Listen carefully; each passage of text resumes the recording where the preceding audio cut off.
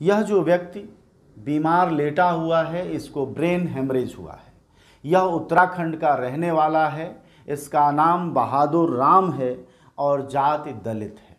Pithoragarh district hospital में भर्ती होने के बाद पता चला कि इसे ब्रेन हेमरेज है। ब्रेन हेमरेज को लेकर पिथौरागढ़ अस्पताल में क्या व्यवस्था है? क्या स्थितियाँ हैं? आप ये जान लें कि पिथौरागढ़ क्षेत्र की आबादी करीब पाँच लाख है। और पाँच लाख की आबादी इस सबसे बड़े अस्पताल पर निर्भर है। और यह वह राज्य है जहाँ के मुख्यमंत्री, जो नए नवेले मुख्यमंत्री अभी बनाए गए हैं, उन, वो जो जिन्स की, का छेद देखते हैं या जो कोरोना को महामारी नहीं मानते और जो मानते हैं कि साधु संतों से महामारी नहीं फैलती, उनके अपने राज्य के ज़िले की क्या स्थिति है, एक बानगी आप ये देखिए। अभी मैं डिस्ट्रिक्ट हॉस्पिटल पिथौरागढ़ में हूँ और ये इमरजेंसी रूम है। अभी आप जिनको देख रहे हैं आप इनको देखकर आप इनकी कंडीशन का अंदाज़ा लगा सकते हैं कि इनको सांस लेने में दिक्कत हो रही है। और डॉक्टर ने इनके बारे में बताया कि इनको ब्रेन हेमरेज हो रखा है। और यहाँ पर डिस्ट्रिक्ट हॉस्पिटल में अभी डॉक्टर ने बता दिया कि इनको तुरंत सुशीला तिवारी जो हल्द्वानी में है वहाँ रेफर कर रखा है और वहाँ ले जाना है। लेकिन इनको ले, ले जाने के लिए यहाँ पर एंबुलेंस नहीं मिली ना प्राइवेट एंबुलेंस ना ना ही सरकारी एंबुलेंस और यहाँ पर क्या हो रहा है डिस्ट्रिक्ट हॉस्पिटल पिथौरागढ़ के ना अधिकारी हमारे किसी काम के काम कर रहे हैं और इतने जो चार चार विधायक हैं सांसद हैं राज्यसभा सांसद हैं और अन्य जो तमाम ये, ये, ये जो पूरी सरकार है इस ये पूरी सरकार हमारी किसी काम की नहीं रही यहाँ पर। और ये जो, लोगों के, लोगों को ये कहते हैं कि हम आपके अच्छे दिन लाएँगे, तमाम तरह की चीज़ें करेंगे। इस कोरोना के टाइम में भी सरकार ने सुविधाएँ कैसी व्यवस्था कर रखी है, आप आप खुद ही देख सकते हैं। यहाँ पर जो इनकी पत्नी है, वो वो आगे से रोने में है। और क्या क्या कर दिया इस देश का और इस राज्य का, यहाँ के थर्ड क्लास नेताओं ने। और आज भी आज भी मतलब यहाँ पर एक आम आदमी इतना मतलब परेशान हो गया कि वो वो अब जाए कहाँ है इंसाफ के लिए? पूरा सिस्टम फेल हो चुका है इसके आगे। और अब भी हम एक एक लास्ट एक रिक्वेस्ट कर रहे हैं यहाँ की सरकार से कि अब भी आप जागिए। इन इन थर्ड क्लास नेताओं की वजह से आम आदमी लगातार मर रहा है। यहाँ पर इनको जो बीमारी हो गई है, ब्रेन हेमरेज बता रहे हैं और इसके लिए न्यूरोलॉजिस्ट की आवश्यकता होती है, उस डॉक्टर की आवश्यकता होती है और वो डॉक्टर पिथौरागढ़ में है नहीं। उसके लिए हमें सुशीला तिवारी जाना ही है। और कोई दूसरा हमारे पास ऑप्शन नहीं है। लेकिन सुशीला तिवारी हॉस्पिटल भी कैसे जाएँ? उसके लिए हमारे पास एंबुलेंस है नहीं यहाँ पर। तो ऐसे में अब एक आम आदमी अब क्या करें? आपको बताया, बताने वाले ने कि क्या स्थिति है। ये इतनी ही हालत बात खत्म नहीं होती है। बात इससे आगे भी है। बात यह है कि जब पीड़ित के परिवार के लोगों ने डीजी हेल्थ से बात की, यानी Uttarakhand DG health, Uttarakhand director general health से जब बात की और बातचीत का जो परिणाम निकल कर सामने आया है, वह और दिलचस्प है। और हम अपनी तरफ़ से कुछ आपको बताएँ, उससे ज़्यादा ज़रूरी है कि आप खुद सुने डीजी हेल्थ प्रीति बहुगुणा। का क्या विचार है ऐसे मरीजों को लेकर?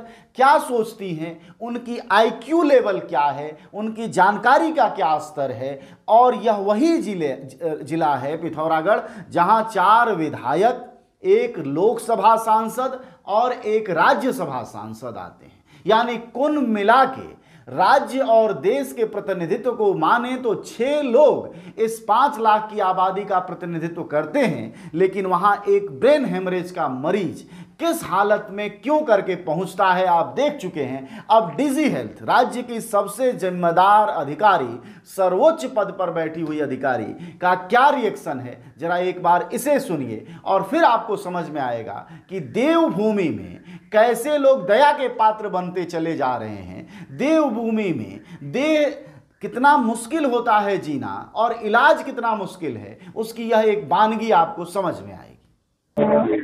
हेलो। हेलो। जी मैम नमस्ते। हाँ नमस्ते। मैम मैं डिस्ट्रिक्ट जी मैं डिस्ट्रिक्ट हॉस्पिटल पिथौगढ़ से बात कर रहा हूँ। हाँ जी बोलिए। परसों को डिस्ट्रिक्ट हॉस्पिटल पिथौरागढ़ में न्यूरोलॉजिस्ट न होने की वजह से सीटी स्कैन एम ये सुविधा न होने की वजह से हमारी हाँ। चचा की डेथ हो गई है हाँ। मैं कह रहा हूँ यहाँ पर लाखों की आबादी कम से कम पाँच छह लाख लोग इस पिथौरागढ़ ज़िले में रहते हैं और इतना बड़ा हॉस्पिटल है डिस्ट्रिक्ट यहाँ पर एक न्यूरोलॉजिस्ट नहीं है डॉक्टर और ये बेटा एक मिनट सुनो एक मिनट बच्चे अच्छा आपकी बात जस्टिफाइड है न्यूरोलॉजिस्ट हमारे पूरे पूरी में इंडिया की बात करूँ है ना? और स्टेट की बात करूँ तो न्यूरोलॉजिस्ट किन के चार या पाँच हैं तो आपके पिथौरागढ़ के लिए तो नहीं मिल सकता ना बच्चे? हाँ। सीटी स्कैन की मैं बात कर रही हूँ तो सीटी स्कैन बहुत जल्दी लगने वाला हो थोड़ा समय लगेगा लेकिन लग जाएगा आपके यहाँ सीटी स्कैन ठीक है? परेशान हो बेटा मैं समझ सकती हूँ तुमने अपने पापा को खोया ना तो तुमको लग रहा होगा कि ऐसा हम भी आपकी जगह होते हैं तो हम भी ये बात करते हैं लेकिन आपको मालूम है ना कि ये न्यूरोलॉजिस्ट इतनी हर हर डिस्ट्रिक्ट में तो दे नहीं सकते ना वहाँ पर पद है न्यूरोलॉजिस्ट का पद कहाँ होता है? मेडिकल कॉलेज में होता है ठीक है? हम्म। ठीक है? तो मेडिकल कॉलेज तो नहीं भगवान भगवान की दया से शायद पिथौरागढ़ में मेडिकल कॉलेज का प्रक्रिया चल रही है। आज के दस साल के अंदर शायद आपके पास ज़रूर आ जाएगा है ना? लेकिन अच्छा नहीं लगा बेटा हाँ, मैं समझ। सकती हूँ और यहाँ तक ना हाँ। जो वहाँ पर डॉक्टर थे इमरजेंसी में उन्होंने कहा था कि हमें तुरंत उनको हल्द्वानी ले जाना है। तो हमें हाँ। एंबुलेंस तक नहीं मिल, मिल पाई हमें हल्द्वानी ले जाने के लिए। नहीं ऐसा ऐसा मैं पता करूँगी, ऐसा कैसे? क्योंकि ऐसा होता देखो 108 से आप जा सकते थे। 108 मिलती है ना तो 108 को लेके चले जाते जी। तो वो क्यों नहीं ऐसा ऐसा क्या हुआ? 108 को नहीं बुलवाया था आपने? हमने झूलाघाट से पिथौरागढ़ के लिए 108 मिल गई थी लेकिन जब डॉक्टर ने बताया कि इनको ब्रेन हेमरेज है आपको तुरंत पिथौरागढ़ से हल्द्वानी ले जाना है तो हम उसके लिए हम एंबुलेंस का इंतज़ार करते रहे कि, एक बार बताया कि पाँच से छह बजे मिलेगा वो भी टाइम पर एंबुलेंस न मिलने की वजह से हम उनको हल्द्वानी नहीं पहुँचा पाए और हल्द्वानी भी काफ़ी दूर है तो यहाँ पर हाँ, ऐसा हाँ, क्यों नहीं हो सकता है, कि है। अग, अगर ये भी अगर यहाँ पर ना कुछ हेलीकॉप्टर या कुछ ऐसा सिस्टम होता है या तो डॉक्टर की व्यवस्था हो जाए यहाँ पर न्यूरोलॉजिस्ट हो जाए। बात बताएँ ऐसा होता है हमारा प्रदेश बहुत विषम प्रकृति में ना विषम विकट स्थिति है हमारे ना प्रदेश की। पिथौरागढ़ मुंसारी कहाँ कहाँ है बहुत दूर है चमोली बाण सही बात कह रहे हो आप अपनी जगह बहुत सही हो आप कह रहे हो कि हाँ एम्बुलेंसेज के ऊपर भी चर्चा हो रही है लेकिन इसके लिए बेटा सरकार का वो होता है ना वो सरकार कर रही है कोशिश कर रही है। आपके लिए हेली एम्बुलेंसेज की तैयारी करी जा रही है पर ये लंबी प्रक्रिया होती है। आप अपनी जगह बिल्कुल सही है होनी चाहिए। ये सुविधा हम लोगों को होनी चाहिए हमारे प्रदेश में होनी चाहिए ठीक है? इससे भी काट हो रहा है लेकिन ये क्या होता है ये टाइम टेकिंग प्रोसीजर होते हैं। ऐसा नहीं कि मैंने कहा कि हेली एंबुलेंस चाहिए तो दूसरे दिन हेली एंबुलेंस खड़ी हो जाएगी। उसकी हम्म। प्रक्रिया होती है एलियोमिनेसिस के लिए? बहुत लंबी प्रक्रिया होती है ठीक है? जी तब तक कितने लोग मैम आप बताइए ना तब तक हम लोग हम लोग मर, मर, मरते रहे फिर हम लोग?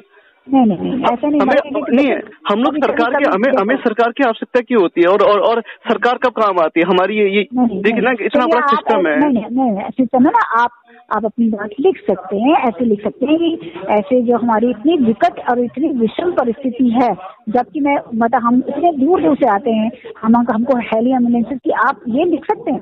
हेली एम्बुलेंसेज की डिमांड कर सकते हैं हमें एम्बुलेंसेज की वो करी जाए और साथ में यहाँ पर आपका देखिए सोच रही है सरकार ऐसा नहीं है।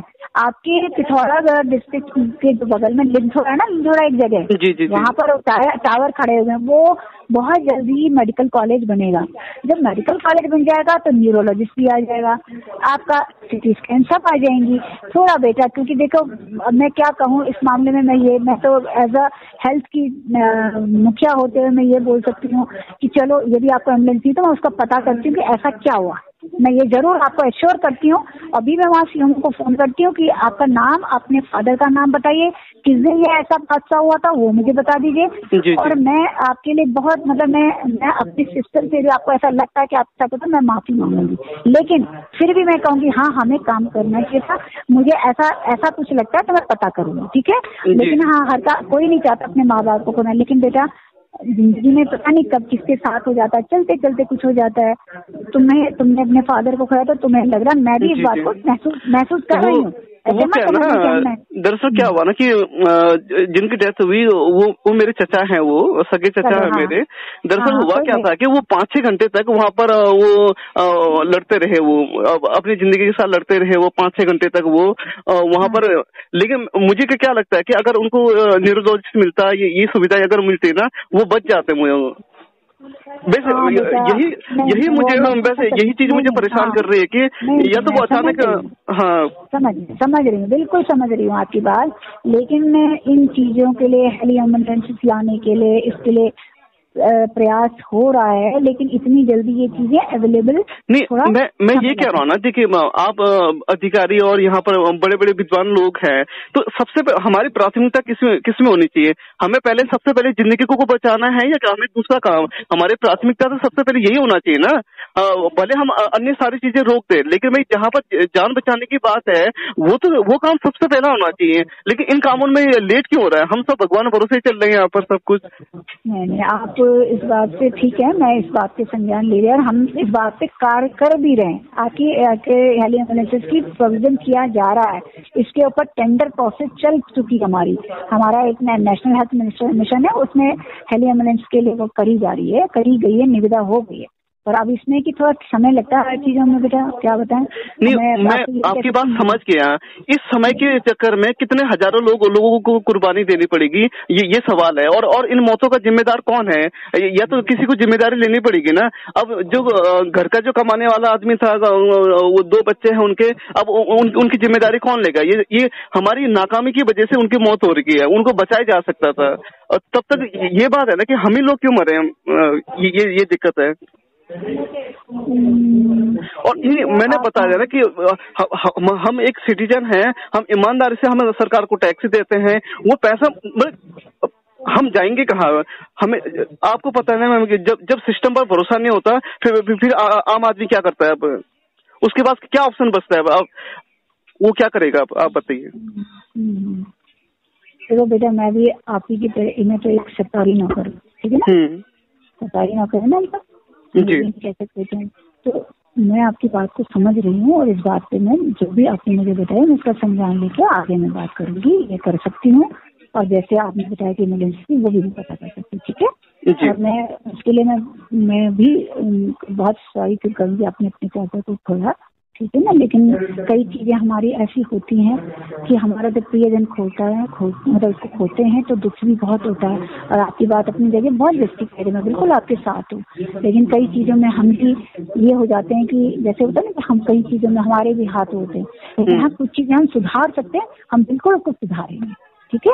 मैं अभी जाके मेरे को अपने चाचा का नाम बताओ। अपना नाम वो करिए। आपने तो मेरे को मैसेज कर दीजिए इसमें इसी ये मेरा व्हाट्सएप नंबर है। आप मैंने आपको मैंने वो जो न्यूज़ की लिंक है वो मैंने वीडियो आपको सेंड कर रखे है उसमें। अच्छा, अगर वो वो न्यूज़ है आप यहाँ पर जो सीएमओ का फ़ोन मतलब उन्होंने अभी तक कुछ कॉन्टेक्ट करने की भी कोशिश नहीं की उन्होंने।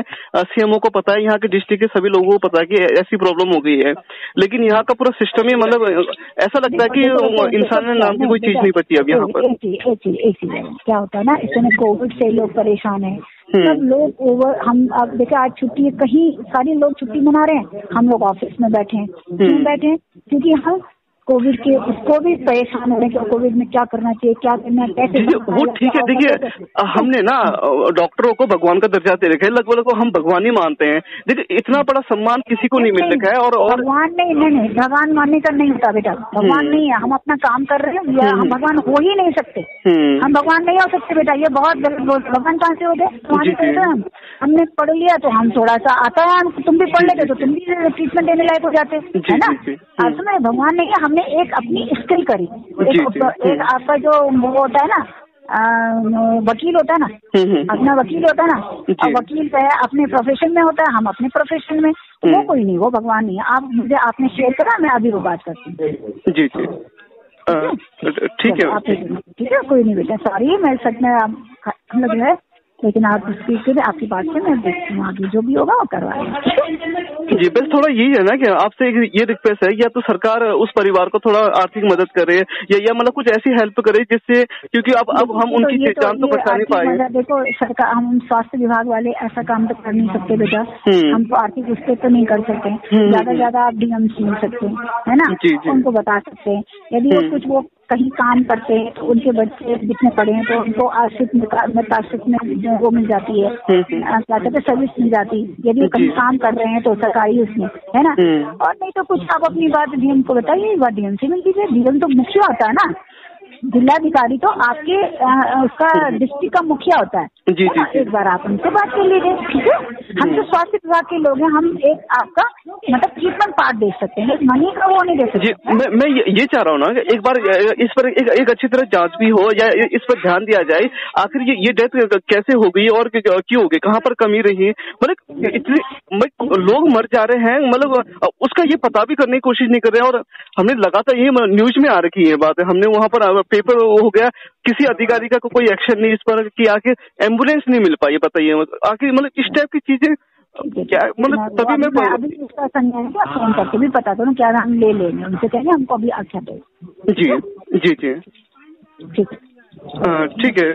थैंक यू अब आपने अधिकारी की भी बात सुन ली, भुक्तभोगी परिवारों की भी बात सुन ली है और आपको समझ में आ रहा होगा कि असल में पाँच लाख की आबादी जो पिथौरागढ़ की है, उसको बचाने के लिए, उसके इलाज के लिए व्यवस्थाओं की कितनी चरमराती स्थिति है और यह वो राज्य है जा देवभूमि के नाम से जाना जाता है, जहाँ इस वक्त कुंभ चल रहा है। कुंभ को संभालने में पूरी मशीनरी लगी है, लेकिन इन मरीजों को संभालने वाला कोई नहीं है। वो कुंभ कोरोना वायरस का सबसे बड़ा स्रोत बन रहा है, और ये मरीज़ जो उत्तराखंड को एक राज्य बनाते हैं, उनको कोई पूछने वाला नहीं है।